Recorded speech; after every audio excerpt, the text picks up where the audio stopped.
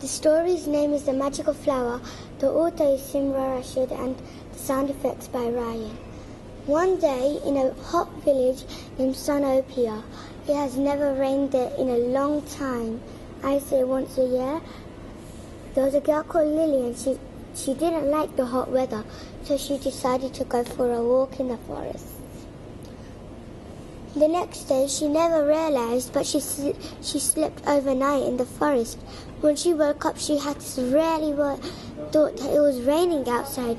She went out the forest to see, and it really was. She was so happy. She started skipping all around the path outside the forest. Then she tripped over something. It was a flower.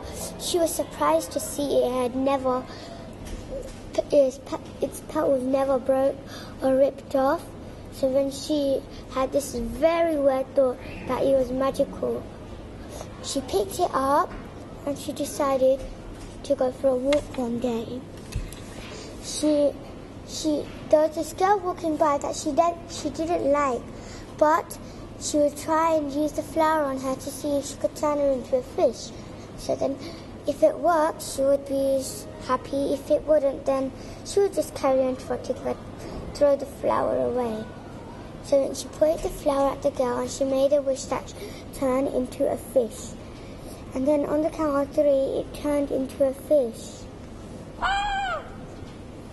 She started laughing and laughing and didn't stop. After the next few minutes, something was happening to the fish.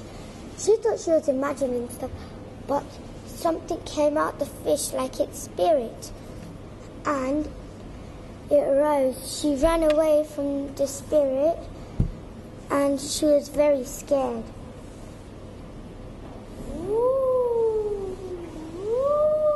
Then she stopped on just by the tree and said, I'm sorry.